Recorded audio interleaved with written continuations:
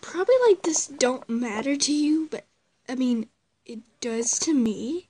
And I was freaked out when I saw it. And this is like my third grade um school stuff. And this is what I found in my writing journal. Yes, I'm not using Perry, but this is so weird. I did not write this, but it's my cousin's name, but she don't go to the school I do. And she never writes on this. She never even know what this was. I'm Caitlin. And that's not my handwriting. Like, I'll show you my handwriting, guys.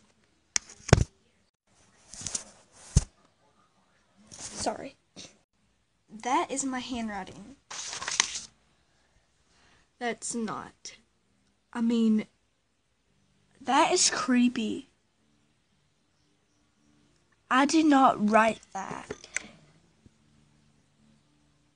Plus, it says, I'm Caitlin. I mean, I didn't write that.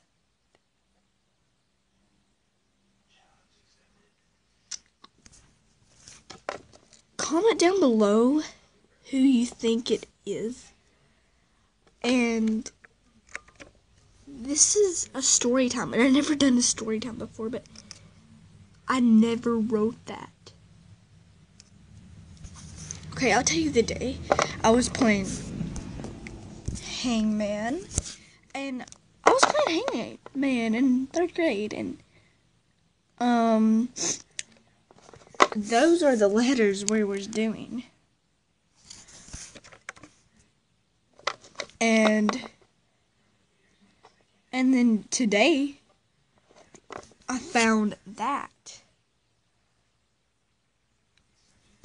And I just like I'm like what happened? I mean oh, I did not even know what that was or who it was.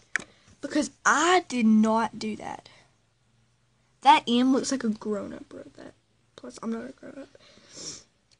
But, I'm just scared.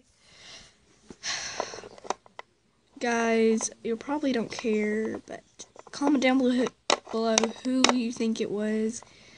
One of my friends, my cousin, my sister. Who do you think it is? Bye, guys. Hope you have a great day. Mama.